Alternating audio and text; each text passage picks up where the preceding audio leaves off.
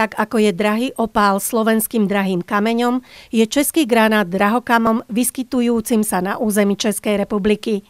Patrí medzi pyropy a vyznačuje sa typickým otieňom temne ohnivo červenej farby. Kisucké múzeum pripravilo pre svojich návštevníkov v kaštieli Radoľa zaujímavú výstavu, na ktorej sa prezentuje nádherná zbierka Kisučana, vysokoškolského pedagóga a zanieteného geológa pána Miloša Duraja.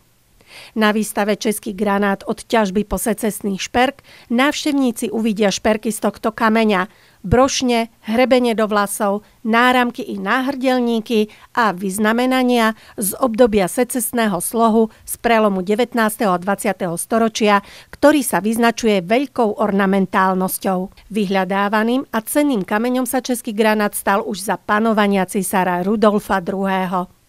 Veľkú tradíciu v brúsení drahých kameňov a aj českého granátu má oblasť Turnovska. Granátová móda sa vďaka vývozu šperkov do Poľska a Ruska rozšírila po celej Európe.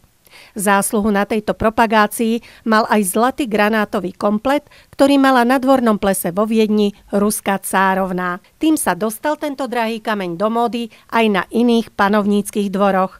Kameň sa stal aj vlasteneckým symbolom v dobe českého národného obrodenia.